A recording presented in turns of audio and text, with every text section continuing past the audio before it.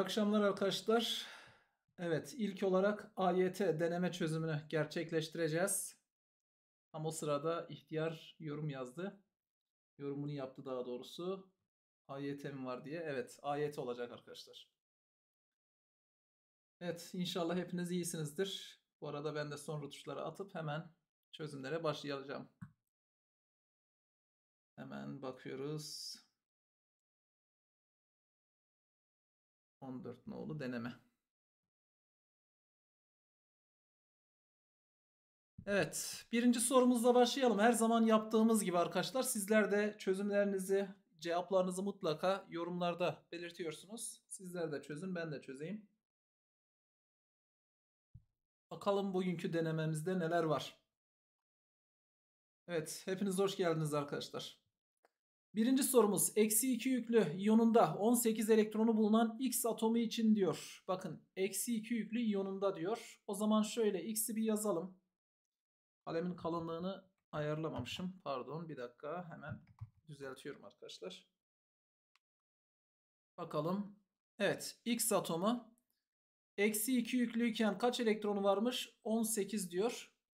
Yalnız burada dikkat edin iyon hakkında bilgi istemiyor. X atomu için ifadesini kullanmış. Evet X atomu için ifadesini kullanmış. O zaman nötr haline bakacağız. Peki elektron almadan önceki durumunda elektron sayısı kaçtır? 16'dır değil mi? Atomun arası da 16'dır. Elektron dizilişini buna göre yapacağız. 1S2, 2S2, 2P6, 3S2, 3P4 dersem 16 elde ediyor muyuz? Bakın 10, 12, 4 daha 16 yapıyor. Peki orbitallerine bir bakalım. S2'nin orbitali tam dolu. Şuradaki de tam dolu. Şöyle tane tane yazalım. Bilmeyen arkadaşlar bazı kavramlar tam oturmamışsa görmüş olsun. Orbitaller bu şekilde arkadaşlar. S'nin zaten bir tane tam dolu. P'nin 3 tane orbitali var. 1, 2, 3, 4 şeklinde gösterebiliriz. Peki 7 tam dolu, 2 yarı dolu orbitali vardır diyor. Bakın 1, 2, 3, 4, 5, 6, 7 tane tam dolu, 2 tane yarı dolu orbitalimiz var. Birinci ifade doğru. Evet cevap A mı diyorsunuz? Birinci soru için A diyorsunuz. Bakalım. Değerlik elektron sayısı 8'dir diyor. Şuraya bakmanız gerekiyor. Peki kaç yapar burası? 4, 2 daha 6. Çünkü S ve P orbitallerine bakarız. P ile bitenlerde diyoruz ki NS, NP orbitallerine bakın. S ile bitiyorsa sadece NS'ye bakın. D ile bitiyorsa arkadaşlar NS, N-1 D orbitallerine bakın diyoruz değil mi? Evet Zeynep hatırlatman için teşekkür ederim. Arkadaşlar bu arada e, kanalımıza ciddi manada destek olun. Bakın yakında İnşallah kanalımız biraz daha böyle ön plana çıkmaya başlayacak sizin desteklerinizle.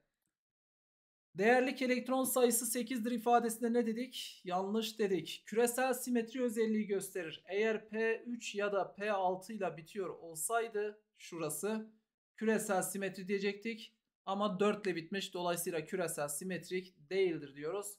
Bu ifadede yanlış oldu. Cevabımız A şıkkıdır diyeceğiz. Çok güzel. Gelelim ikinci soruya. İyonlaşma enerji sorusu. Grafik verilmiş. Diyor ki atom numaraları ardışık sayılar olan ikinci periyottaki 5 elementin birinci iyonlaşma enerjisi atom numarası ilişkisi yukarıdaki grafikte verilmiştir diyor. Buna göre yargılardan hangileri kesinlikle doğrudur diye sorulmuş. Burada kesinlik ifadesine dikkat edin arkadaşlar. Kesinlik istiyor bizden. Şimdi bunları öncelikle bir belir, belirleyelim. Burası nedir arkadaşlar? Burası 2A desem. Burası 1A olur değil mi? Peki buranın 5A olma ihtimali de var mı? Var. Peki burası 2A olsa 3A, 4A, 5A. İhtimalli konuşuyoruz değil mi? Cevap mi diyoruz Zeynep? Bakalım hemen. Şuraya arkadaşlar ben 1A diyorum önce. Şurası 2A olsun. Şurası 3A, 4A ve 5A diyebilirsiniz. Bu bir ihtimal. İkinci periyottaki 5 element. Tamam. Bir de ne olabilir? İkinci durumu da yazalım. Şurası arkadaşlar bakın şu 2A olabileceği gibi 5A da olabilir. Mavi renkle göstereyim. Şurası o zaman 4A'dır. O zaman burası 6A oluyor. 7A oluyor ve 8A'dır da diyebilirsiniz. İki durumda söz konusudur diyebiliriz değil mi? Evet. Bakalım A diyen var, D diyen var. Diyor ki birinci ifadede Y ile M atomlarının Y ile yani şu ile M atomlarının elektron dizilimleri küresel simetrik yük dağılımına sahiptir. Şimdi arkadaşlar 2A olursa S2, 5A olursa P3 ile bitiyor. Küresel simetrik iki durumda da 5 ayla biterse P3, 8 ayla biterse P6 yine küresel oluyor. Yani her durumda küresel simetrik olduğunu söyleyebiliyoruz. Gelelim ikincisine. T1 halojendir demiş. T'ye baktığımız zaman 7A olma ihtimali var ama 4A da olabilir. O yüzden kesin değil. Elektron ilgisi her zaman mı yukarıdan aşağıya doğrudur? Yukarıdan aşağıya demiyoruz ki elektron ilgisi aşağıdan yukarıya doğru artar. Elektron ilgisi aşağıdan yukarıya. Artması aşağıdan yukarıya. Unutmayın. Ama istisna var. İstisna var. Aşağıdan yukarıya diyeceğiz. Artar. Çünkü neden? Aşağıdan yukarıya doğru çap küçülmüyor mu? Küçülüyorsa elektrona ilgi artıyor demektir. Ama istisnalar var. Üçüncü ifade Y'nin atom numarası 4 ise M 5A grubundadır demiş. Şimdi Y'nin atom numarası 4 ise derken neyi kastediyor? Yani diyor ki Y 2A ise tamam. Yani şu 2A olduğunu kabul edelim diyor. O zaman M 5A olur. E bakıyoruz 2A ise burası 3A, 4A, 5A oluyor. Evet. Cevabımız bu durumda 3 de doğrudur. 1 ve 3 kesindir diyebilirsiniz arkadaşlar. Bakın şu şartı sağlıyorsa tabii M'ye 5A grubudur diyoruz. Onu belirttiği için cevabımız D şıkkıdır diyebiliriz. Evet cevabımız D olacak. Geçelim 3. soruya.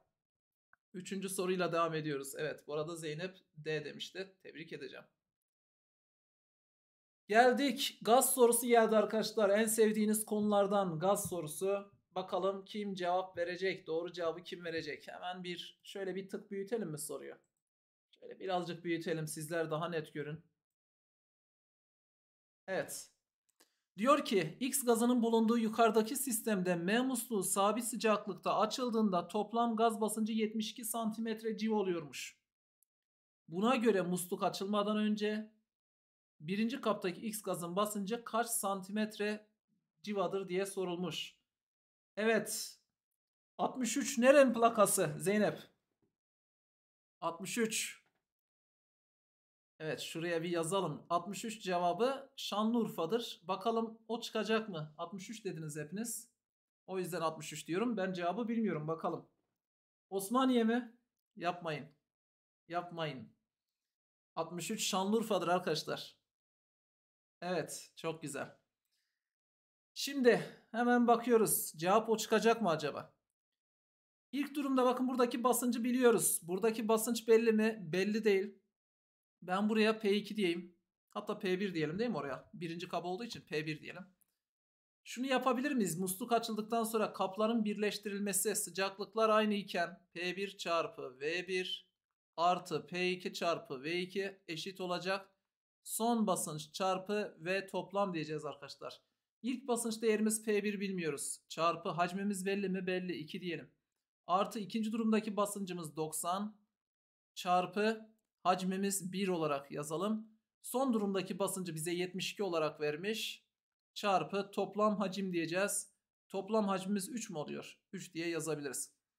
Burada arkadaşlar 2P1 eşittir diyelim. 3 çarpı 72 ne yapar? 21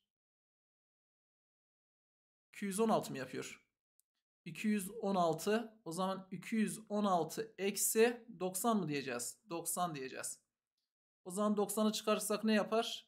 126 mı yapıyor? 2P1 eşittir 126'dan P1 eşittir ne yapar? 63 olarak gelir. Cevabımız B şıkkı olacak. Evet cevabımız arkadaşlar B şıkkı çıktı. Var mı bir sıkıntı? Anlaşılmayan bir yer var mı? Yoksa geçiyorum bir diğer sorumuza bakalım ne gelecek? Evet gelsin dördüncü sorumuz.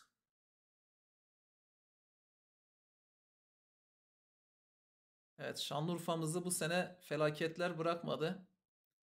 Hem deprem hem sel felaketleri maalesef. İnşallah bu günlerde bitecek yani bu hayırlı günlere inşallah kapı olur diyelim. Ölenlere tekrardan rahmet dileyelim. Geçtik dördüncü soruya. Dördüncü soru arkadaşlar. doymamış şekerli su çözeltisinde aynı sıcaklıkta bir miktar daha şeker çözülüyor. Bakın şu ifadelere dikkat ediyorsunuz soru çözümlerini yaparken. Sorunun kolayı zoru diye bir şey yoktur. Dikkat isteyen sorular vardır. Biraz daha sade sorular vardır. Bakın doymamış şekerli su der. Doymuş derse farklı yorumlayacağız. Doymamış derse farklı. Doymamış ne demektir? Üzerine biraz daha şeker ilave ederseniz biraz daha çözünecek demektir. O zaman buhar basıncı Buhar basıncı arkadaşlar neye bağlıydı? Sıcaklığa, safsızlığa ve maddenin cinsine. Burada safsızlığı biz gittikçe ne yapıyoruz? Arttırıyor muyuz? Evet. O zaman ne oluyor? Buhar basıncı gider e, giderek düşüyor arkadaşlar. Çünkü şekerin bir kısmının çözüneceğini söyledik. Derişim gittikçe arttığından dolayı buhar basıncı düşer. İletkenlik değişmez. Neden değişmez? Çünkü şekerli su zaten elektriği iletmiyor. Elektriği iletmediği için iletkenlikte bir değişme meydana gelmez. Donmaya başlama sıcaklığı normalde eğer bir safsızlık varsa donma noktası biliyorsunuz 0 derecenin biraz altına düşüyor su için. Eğer ben şeker oranını artırırsam daha da aşağıya düşecektir. Dolayısıyla bakın gittikçe düşer ifadesini kullanıyoruz. O zaman daha azdır demesi 1 ve 3 olacak. Cevabımız o zaman A şıkkıdır diyebiliriz değil mi bu sorumuz için? Dördüncü soru A şıkkı olacak.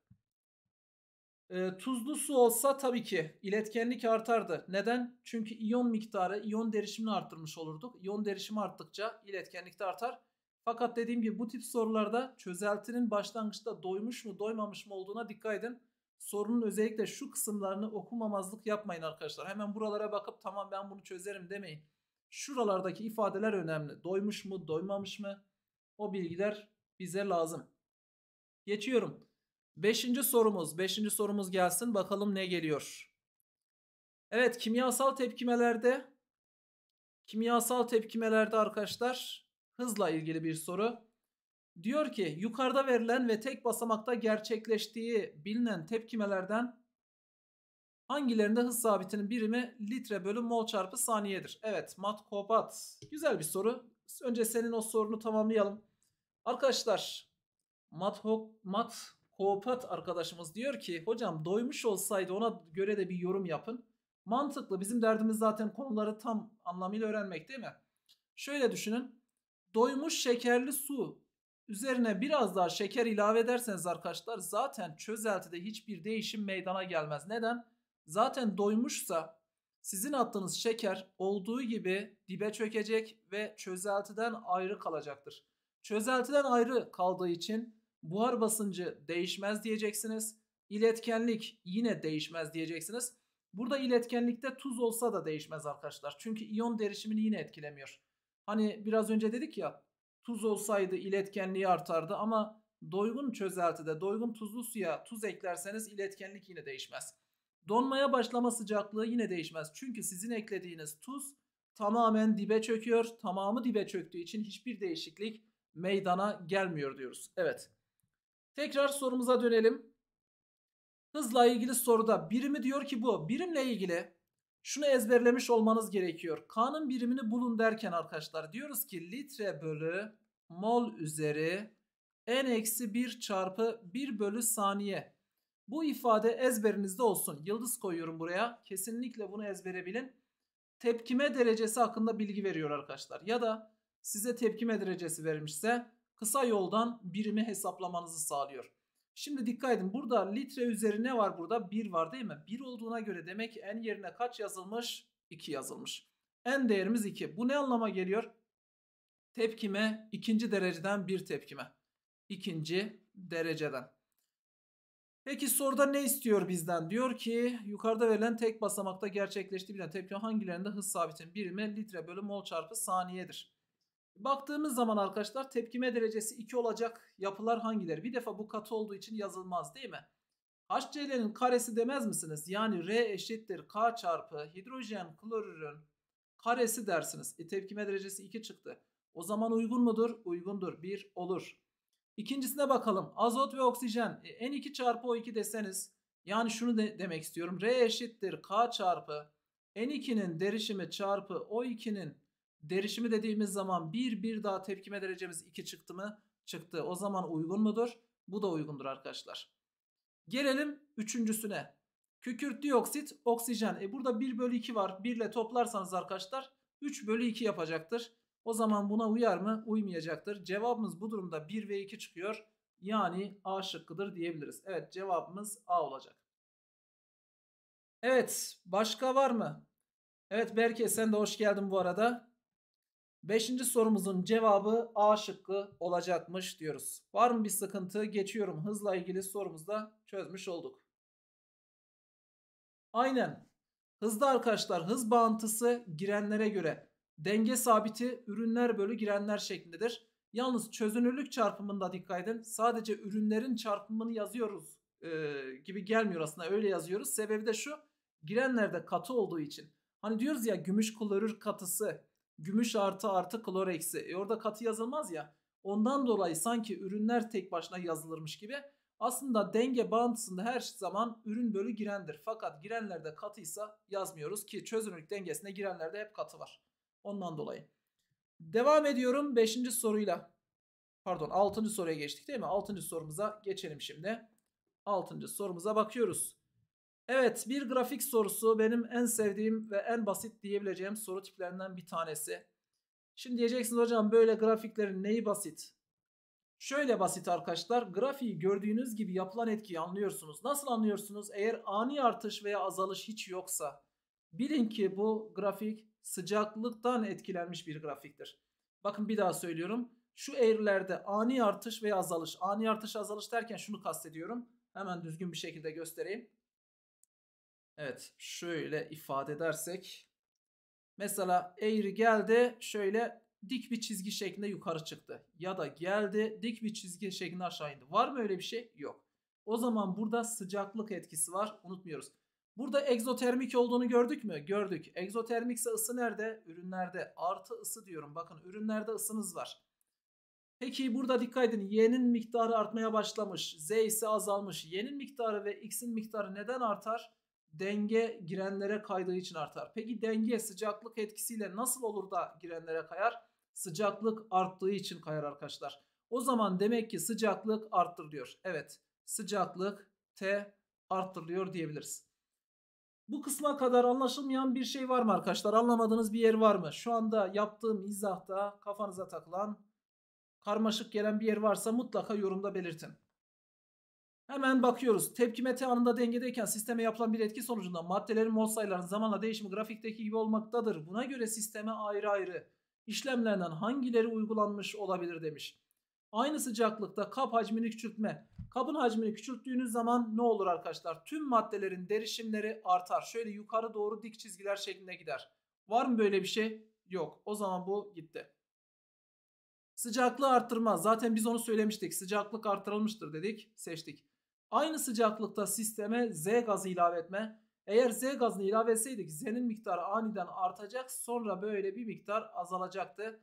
Var mı böyle bir şey arkadaşlar? Yok dolayısıyla bu da yalan oldu. Cevabımız bu durumda yalnız 2 olacak. Yani B şıkkını işaretlemiş oluyoruz. Evet denge sabiti de azalmış olur. KD azalır arkadaşlar burada. Unutmayın K sabitini etkileyen tek faktör denge bağıntısındaki K'dan bahsediyoruz. Sıcaklıktır. Peki hız sabitindeki K'yı etkileyen faktörler nelerdi? Onları da hatırlatalım. TSK yani temas yüzeyi, sıcaklık ve katalizör. Bakın küçük k'yı yani hız sabitini etkileyen faktörler bunlar. Denge sabitini etkileyen faktör sadece sıcaklıktır diyoruz. Evet bunu da hatırlamış olduk. Geçiyorum hemen bir başka soruya. Bir başka soruya geçelim. Bakalım ne gelecek. Yedinci soruya geçtik. Yedinci sorumuz bakalım bizden ne istiyor? Yukarıdaki denklemi verilen tepkimelerden hangileri redoks tepkimesidir demiş. Redoks ne demekti arkadaşlar? Yükseltgenme, indirgenme tepkimesi demekti. Peki bakalım azot sıfırken oksijen sıfır, oksijen eksi 2 olmuş, azot artı 5 olmuş mu? Azot yükseltgenmiş, oksijen indirgenmiş. O zaman bu bir redoks tepkimesidir. Metan klor gazıyla tepkimeye giriyor. Bakın elementler sıfırdır. Karbon burada eksi 4, hidrojen artı 1'dir. Hidrojen ametallere karşı artı 1 değerlik alıyordu. Klor eksi 1 olmuş. Bakın klorun yükseltgenme basamağı değişmiş değil mi? Hidrojen artı 1, klor eksi 1. Ondan sonra şuradaki karbonu bulmaya çalışsak arkadaşlar. Burada hidrojen artı 1 deseniz Artı 3 eksi 1'imiz burada. Eksi 2 olmuş karbon. Bakın karbon eksi 4'ten eksi 2'ye yükseltgenmiş oluyor. Dolayısıyla yine bir redoks tepkimesidir. Yukarıda evet bakalım gümüş nitrat. Bu bir çözünme çökelme tepkimesi arkadaşlar. Bakın çözeltiler bir çökelti oluşturmuş. Hatırlarsanız bununla ilgili soru çözümde demiştik ki ezber yapmayın. Tabii ki çözünme çökelme redoks değildir diyebilirsiniz ama bu ezberi yapmak yerine yükseltgenme basamaklarını tek tek yazıp bakarsanız çok daha güvenilir olur. Bakın gümüşün artı 1, nitratın eksi 1 olduğunu biliyorsunuz kök olarak. Burada yine nitratımız var kök olarak. Sodyum artı 1, brom eksi 1, gümüş artı 1, brom eksi 1, sodyum artı 1 diye yazdığınız zaman hiç değişen var mı? Yok. Dolayısıyla hiçbirinde değişik yoksa Evet hiçbirinde değişiklik yoksa ne olacak arkadaşlar burada? O zaman bu tepkime bir redoks tepkimesi olmayacak. Evet değişiklik yok çünkü cevabımız 1 ve 2.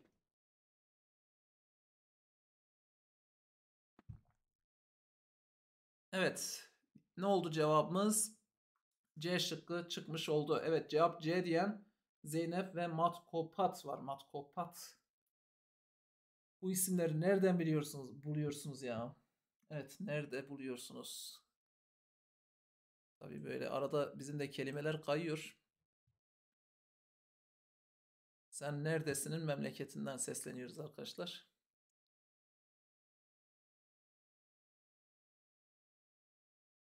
O matematik sevdası.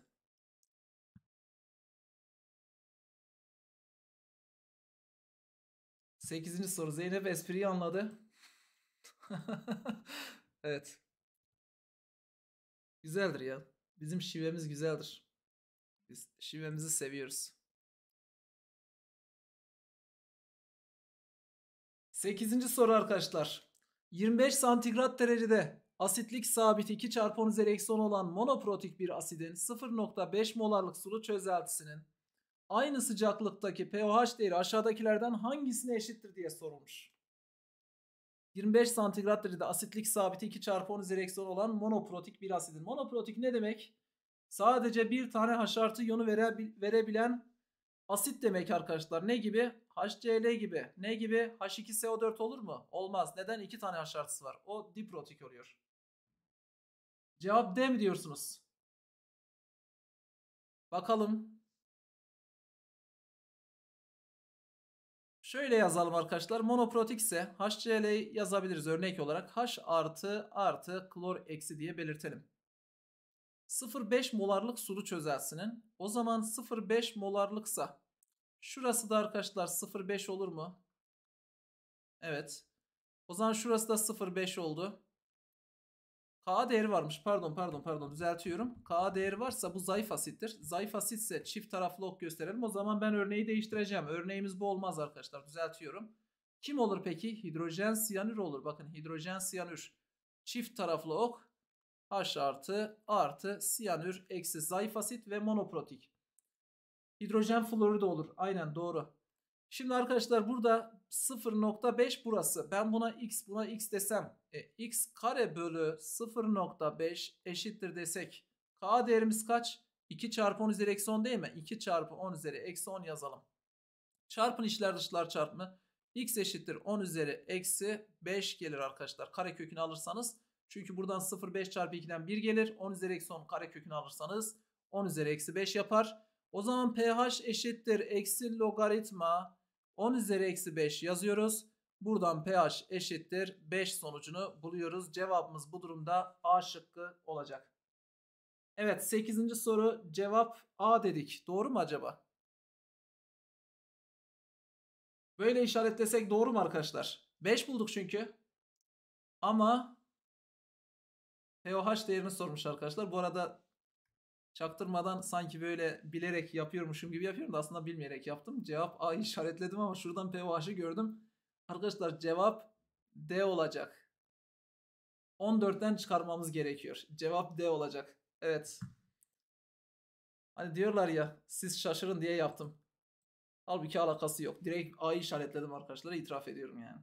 A'yı işaretledim. Sonra şurada gözüme çarptı pOH değeri. Evet.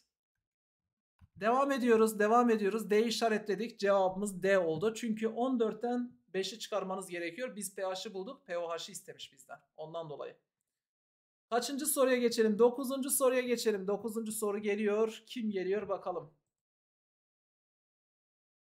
Dokuzuncu soruda e elektrokimyasal pil. Diyor ki şekildeki elektrokimyasal hücrenin pil tepkimesi bu şekildeymiş. Tamam. Ne anlıyoruz buradan? Nikel yükseltgenmiş. Hidrojen indirgenmiş. O zaman buraya anot diyelim. Şuraya katot diyelim. Bakın hidrojenin olduğu yer katot oldu. Anotta ne olur? Aşınma meydana gelir. Evet. Cevaplar geliyor. B diyen var, A diyen var. Bakalım cevap ne gelecek? A diyen, B diyen. Bakalım. Peki burada aşınma olurken elektronlar anottan katoda doğru hareket ediyor mu? Hareket ediyor değil mi? Tuz köprüsünde tuzumuz var. Kim var? Potasyum nitrat olsun. O zaman nitrat iyonları şu tarafa, potasyum iyonları da bu tarafa gelsin. Tuz değişken olabilir. Farklı tuzlar da verebilirsiniz örnek olarak. Burada arkadaşlar bakın indirgenme olacak. Yani çözelti içerisinde H artılar burada baloncuklar şeklinde H2 şeklinde ayrılacak. Tabi burada bir basınç uygulanıyor değil mi? Ona da dikkat edelim.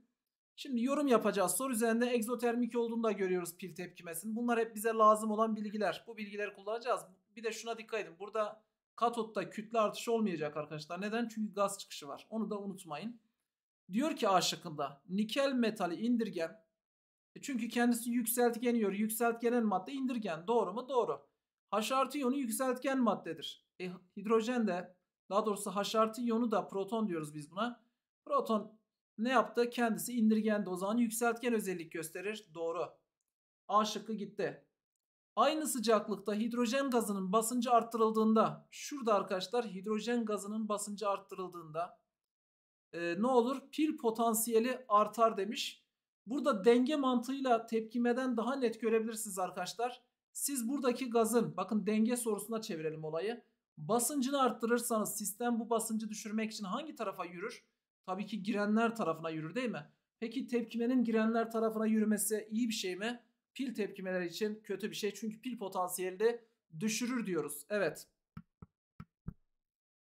Pil potansiyelini düşürür. Peki arkadaşlar burada ee, ne diyor bakalım. Artar ifadesini kullanmış. Olur mu? Olmaz. Biz ne dedik? Düşürür dedik. Cevabımız B şıkkı olacak. Evet cevabımız B şıkkı oluyor. Peki ikinci kaptaki elektrot standart hidrojen elektrot olarak adlandırılır diyor. Doğru.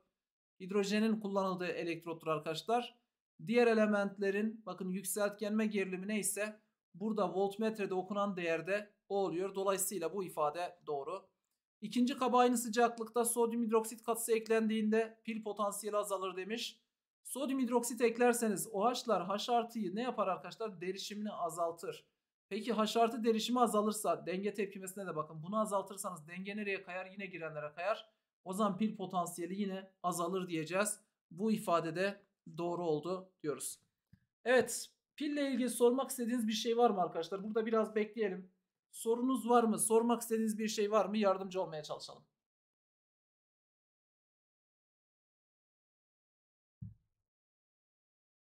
Yalnız cevabını verebileceğimiz bir şeyler sorun tamam mı? Yani böyle çaktırmadan. Ha bir tane şıkkımız daha varmış. Diyor ki ikinci kaptaki çözeltinin pH değeri zamanla artar. Şimdi pH neden artar arkadaşlar? H artı iyonu neyi temsil ediyor? Asitlik değil mi? H artı derişim ne kadar fazlaysa pH 7'den o kadar küçük olmuyor mu? Peki biz bunu pili çalıştırdıkça azaltıyor muyuz? Çünkü H artı iyonu hidrojene dönüşüyor. Tepkimeden de görebilirsiniz. H artı iyonu hidrojene dönüşüyor. H artının derişimi arttığı için asitlik azalıyor. pH da artar diyoruz. Bu ifade de doğru çıkıyor. Evet. Geçelim geçelim geçelim. Bir başka soruya 10. soru. 10. soruya geçiyorum. Derinin elindeki balonlarda bazı bileşiklerin formülleri yer almaktadır diyor. Buna göre hangi renk balonda formülü yazılmış olan bileşik organik değildir? Maddelere bakıyoruz. Cevap E mi diyorsunuz? Mavi diyenler var. Ceren E dedi. Berke E dedi. Burada arkadaşlar glikoz molekülünü görüyoruz değil mi? Karbon tetraklorür var, metil alkol var, benzen var. Bunlar organik maddeler. Karbonat bileşikleri unutmayın yapısında karbonat iyonu bulunduranlar organik değildir. Mesela başka kimler var? Kalsiyum karbonat var. Mesela başka kim var? Magnezyum karbonat var. Sodyum karbonat var. Değil mi? Metal karbonatlar özellikle. Bunlar organik sınıfına dahil olmuyor. Cevabımız E şıkkıdır diyoruz. Geçiyorum başka bir soruya. İki basamakta gerçekleşen bir tepkimenin mekanizmasını oluşturan basamakları sırasıyla yukarıda verilmiştir. Bu tepkime ile ilgili yargılardan hangileri doğrudur diye sorulmuş. Evet. Bir yavaş adım var bir de hızlı arkadaşlar. Biz hızı kime göre yazıyoruz? Tabii ki yavaş adıma göre yazıyoruz değil mi? Evet. Ceren. Cevap ne dedin? D mi dedin? 1 ve 2. 1 2 diyorsun. Bakalım cevap ne çıkacak? 11. sorumuz için. Evet cevaplar geliyor. Herkes D demeye başladı. Güzel. Tabi doğruysa güzel. Kontrol edeceğiz. Tepkimenin hız bağıntısı yavaş adıma göre yazılıyorsa BRO eksi karesi demiş. Doğru mudur? Doğrudur. Girenlerde sadece o maddemiz var. Doğru. Kaba aynı sıcaklıkta saf su eklenirse tepkimenin hızı azalır demiş. Saf su derişim e, derişimi ne yapar arkadaşlar? Azaltır. Peki derişim azalırsa, iyon derişimi azalırsa tepkime hızımızda ne oluyor? Azalıyor değil mi? O zaman bu ifade doğru. Peki bir diğerinde bakalım ne diyor? BRO 2 eksi iyonu katalizördür. Katalizör olması için tepkimeye girmesi ve değişmeden çıkması gerekiyor. E şimdi bakıyoruz. Var mı öyle bir şey arkadaşlar? Ürünler kısmında ben öyle bir şey göremiyorum. Dolayısıyla ben buna katalizördür. Pardon e, BR2 O2 mi? Ha şunu demiş şunu yanlış maddeye baktım ben. Şunu söylüyor. Burada arkadaşlar bu oluşup tekrar harcanan madde o zaman bu ara üründür. Ara ürün. Katalizör nerede olacak? Girenlerde ve en sonda yani ürünler kısmında olması gerekiyor. Şu şekilde bakarsanız katalizör şöyle bakarsanız ara üründür diyoruz. Dolayısıyla cevabımız ne oldu? Bu ifade yanlış oldu. 1 ve 2 işaretleyebiliriz. Cevabımız D şıkkı olacak. Evet güzel sorular aslında tam sınavlık. Böyle sınavda da çok böyle kasan sorular yok. Bunlar da o seviye sorular. Evet 12. soru bir denge sorusu. Çelik kapta 0.3 mol X gazı ve 0.4 mol Y gazı ile başlayan tepkime 0 santigrat derecede dengeye ulaştığında kapta 0.3 mol Z bulunuyor demiş ve toplam basınç 1.4 atm oluyor diye ifade edilmiş. Şimdi arkadaşlar başlangıçta 0.3 bir de 0.4 varmış. Sonra diyor ki 0.3 mol Z gazı bulunuyor. Demek ki bu 0.3 oluşmuş değil mi? Peki bu 0.3 oluşursa bu 0.2 harcanır mı? Evet. O zaman bu da 0.1 harcanır mı? Katsayılar üzerinden geçiş yapıyoruz bakın. En son dengeye getirelim olayı. 0.3'ün 0.1'i gitti. Ne kaldı burada? 0.2. Peki 0.4'ün 0.2'si gitti. 0.2. Burada arkadaşlar 0.3. Dengedeki miktarlarımız bunlar. Diyor ki 1.4 atm oluyormuş basınç. Peki dikkat edin burada toplamda 0.7 mol gaz var. 0.7 mol 1.4 atm yapıyorsa her 0.2'ye ben o zaman e, ne diyeyim arkadaşlar? 0.4 atm mi düşer? 0.4 atm. Burası 0.4 atm. O zaman burası da 0.6 atm yapar. Toplamlarına dikkat edin 1.4 atm elde ediyoruz. Peki diyor ki tepkime buna göre e, yapıldığı sıcaklıkta hangileri kesinlikle doğrudur diye sorulmuş. Evet. Bu arada bakalım C mi diyorsunuz cevaba? Cevabımız C diyorsunuz 11'in 12. soru için. Bakalım. Tepkime kabının hacmi. Nasıl buluruz bu hacmi? Kesinlik istiyor bizden. Evet Ceren ne demiş? 3 mol giren 3 mol ürün var. Delta o zaman 0 3 olamaz. Şey için mi? Üçüncü madde için mi dediniz ona? Nereyle alaka kurdunuz? Ben onu anlamadım. Neyse bir çözelim. Şimdi arkadaşlar e, denge sabitimiz belli mi? Denge sabitimiz. Sonuçta mol üzerinden gidersek kabın hacmine V diyelim. Değil mi? 11.2 litreye kesinlikle doğrudur diyebiliyor muyuz? Oradan mı geliyor? Sıcaklık belli. P ve RT'den bir şeyi bulalım. Bir hacmi bulalım. P değerimiz kaç arkadaşlar? 1.4 eşittir. Çarpı hacmimiz tabi eşittir. Mol sayımız kaç? Toplamda 0.7 miydi? Çarpı. Hacmimiz ne olur? Ee, R değerimiz daha doğrusu 22,4 bölü 273 mu kullanalım? Evet 22,4 bölü 273 çarpı sıcaklık değerimiz şurada 0 derecede 273. Bunları sadeleştirdiğiniz zaman arkadaşlar bakın şurası da şuranın iki katı 2 geliyor buradan. O zaman V eşittir 11.2 litre geliyor. Bu kesin doğru. Bir doğru. Evet. Birincisi doğru arkadaşlar bir sorun yok. Peki KC değerimiz? KC değerimizi nasıl buluruz? KP değerini bulursak KC değeri de oradan çıkmaz mı? Hesaplarız değil mi? Hesaplayalım bir. Ee, 0.6 ATM şeyden de gidebilirsiniz. Aslında hani 0.3 bölü 22,4'ten de gitmek mümkün. İsterseniz oradan gidin. Hatta hacme gerek kalmıyor. Neden? Çünkü katsayılar eşit olduğu için hacmi yazmadan da direkt şu mol değerlerini kullanabiliyoruz. O zaman KC eşittir diyelim. 0.3'ün küpü 0.3'ün küpü bölü 0.2 çarpı 0.2'nin küpü geliyor aslında. 0.2'nin küpü diyelim. E buradan da 27 bölü 8 sonucu gelir mi? Aynen. Burası bakın 3'ün küpünü alırsanız 27'li geliyor. E virgüller zaten birbirini sadeleştirecek. KC değerimiz de doğru. 1 ve 2 çıktı arkadaşlar. Geldik üçüncüsüne. KP, KC arasındaki ilişki bu mudur? E delta n değerimiz kaç çıkıyor buradan? Delta n dikkat edin 3 eksi 3'ten 0 çıkıyor. Delta n 0 ise KP KC nedir? Eşittir. E burada ne yapmış? KC eşittir KP çarpı RT demiş. Bu ifade yanlış oluyor. Cevabımız bu durumda C şıkkı olacak. Evet. Çözüm bu şekilde arkadaşlar. Dediğim gibi isterseniz şu KC'yi buradan hesaplarsınız ya da KP'yi bulursunuz. KP eşittir KC'den de direkt sonuca gidebilirsiniz. Fark etmiyor. Hacmi neden kullanmadım burada? Onu da tekrarlıyorum.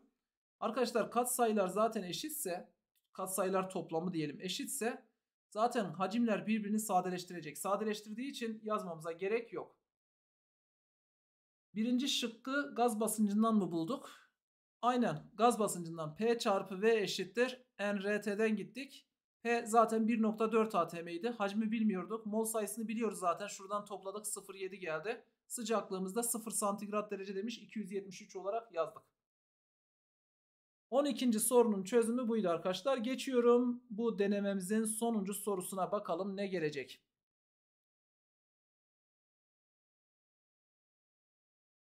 Gazın yanında başka bir şey olsaydı yine hacmi kullanmama durumu olabilir miydi? Şey mi diyorsun? KC'yi yazarken molü kullandığımız için hacmi yazmayabilirsiniz arkadaşlar. Ama e, şuna dikkat edin katı falan derse olmaz. Neden katı olmaz? Mesela x katısı deseydim. Ben o zaman ürünler bölü girenler dediğim zaman birinin küpünü alacağım, diğerinin karesini alacağım. Orada hacimler sadeleşmez arkadaşlar. O yüzden katı ya da sıvı yazıyorsa burada e, o şekilde yapamazsınız. Mutlaka hacimleri tek tek yazmanız gerekiyor. Denklemde yazdığınız ifadelerde ürünler ve girenlerin katsayıları toplamı eşitse yazmayacaksınız. Evet. Erbat anlaşıldı mı? Sorular çok zor değil. Sorular çok zor değil. Orta seviye diyelim. Yalnız arkadaşlar bir de şunu da söyleyeyim. Ee, soruların kolaylığı zorlu, zorluğu sizin bilip bilmemenizle de alakalı. Eğer yeterli seviyeye gelmişseniz zaten gördüğünüz her soru kolaydır. Bu yayın e, şöyle söyleyelim. Kolay orta seviye diyelim. Zor soru içermiyor. Sadece arada belki bir iki tane çıkarsa çıkar. Zor soru yok. Cerem. Ya işte diyorum ya kolaylık zorluk aynen senin dediğin gibi göreceli bir kavramdır. Bilmediğiniz şey zordur arkadaşlar. Yani mesela en basitten bir örnek vereyim. Bir öğrenci ders çalışırken K sabitinin litre bölü mol üzeri n-1 çarpı 1 bölü saniye eşitliğiyle bulunduğunu bilmiyorsa böyle bir soruda K sabitini sorduğu zaman ciddi manada zorlanacaktır. Mesela o soru onun için çok zor bir sorudur. Ama öğrenmişseniz kolaydır. Ya da organikteki sorular bildiğiniz zaman kolay oluyor yani. imkansız soruların oluştuğu bir deneme yapar mısınız yakında? Öyle bir şey yok yani. imkansız diye bir şey yok. Her şey imkan dahilinde. Berke. Sadece uğraştırıcı sorular var. Biraz uğraştırıcı. Mesela e, Aydın yayınlarının titrasyon sorularında var arkadaşlar. Böyle uğraştırıcı, biraz böyle işlemlere dikkat etmeniz gereken sorular var. Ama e, şey yok yani kalkıp da öyle imkansız soru diye bir kavram yok zaten. Evet. 13. soru. İnşallah inşallah hepiniz 13'te 13 yapın. Bir de arkadaşlar size bir tavsiyem de maceraya da girmeyin. Bakın ben net bir şekilde söylüyorum. Kimyanızı hallettiniz diyelim. Tamam. Rutin yolunuza devam edin. Çok fazla böyle zor kaynak, zor soru arayışı içerisine girmeyin. Ya bunun geometrisi var, bunun fiziği var. Fiziğinizi full çekmeye çalışın. Yani fiziğe ağırlık verin ders çalışırken. Fizik sorularını iyice kavramaya çalışın. Kalkıp da bildiğiniz dersleri, iyi yaptığınız derslere çok aşırı anormal bir şekilde yüklenmeye gerek yok yani. 13. soru.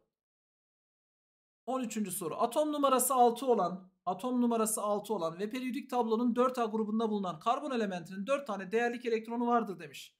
Buna göre karbon elementi yukarıda verilen kimyasal bağlardan hangilerini oluşturabilir demiş. Şimdi arkadaşlar baktığımız zaman karbon elementi şu tarz bağ yapabilir ki CH4 molekülünü biliyorsunuz zaten. Olabiliyor değil mi? Olabilir. E yine bu şekilde de olabilir. Bakın oksijen bağlayın buraya. Karbonun bu tarz bileşikleri de var. Mesela formaldehit bileşiği oluştu dikkat ederseniz. Burada metan oluşuyor. Şu tarz bir bağ yapabilir mi karbon? E bunu da yapabilir. Neden? Mesela asetilen molekülünü düşünün. Asetilen, hidrojen bağlayın buraya. Şuraya da hidrojen. Karbonun bu tarz bağı da var. Ya da bu tarz bir e, bağı da olabilir. İkili bağ, ikili bağ şeklinde karbonlar devam ederse alkadiyen diyoruz bunlara. O yüzden cevabımız hepsi de olabilir olacak. Herhangi bir problem olmayacak. Evet şimdi arkadaşlar bizim zaten e, amacımız bu. Yani sizler bir şeylerden faydalanın diye elimizden geldiğince inşallah faydalı olmaya çalışacağız. Tekrarlarımızı yapacağız. Ama dediğim gibi o olay önemli. Kimyanız iyi seviyeye geldiyse tekrarlardan ibaret olsun. Kalkıp da böyle zor sorularla vakit öldürmeyin. Türkçenizi geliştirin, matematiğinizi geliştirin, fiziğinizi geliştirin. Sizin amacınız üniversiteyi kazanmak, oradaki netlerinizi artırmak. Evet.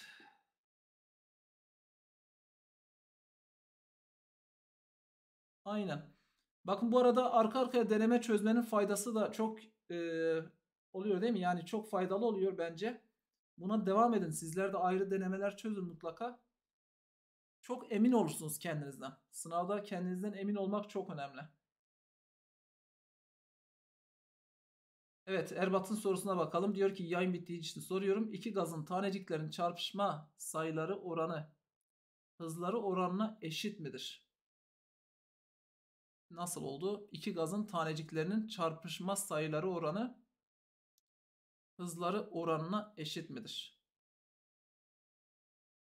Yani şöyle mi? Mesela helyumun hızının CH4'ün hızına oranı zaten 1 bölü 2, şey 2 bölü 1'dir. Tamam. Bunların çarpışma sayıları da hızlarıyla orantılı olur. Diyebiliriz yani. Kinetik enerji oranlarına eşit değil midir? Şimdi şöyle yani yanlış anlamadıysam şunu anlatmaya çalışıyor. Yani ben şöyle izah edeyim eğer doğru anladıysam.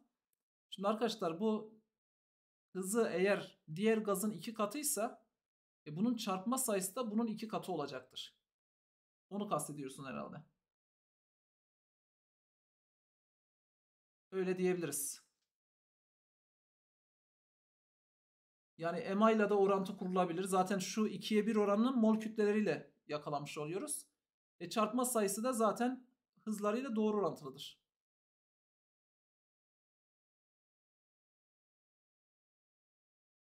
Evet.